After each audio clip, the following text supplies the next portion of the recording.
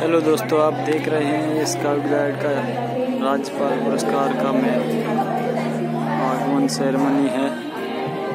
देखिए ये बांसवाड़ा के लियो कॉलेज में ऑर्गेनाइज किया गया है।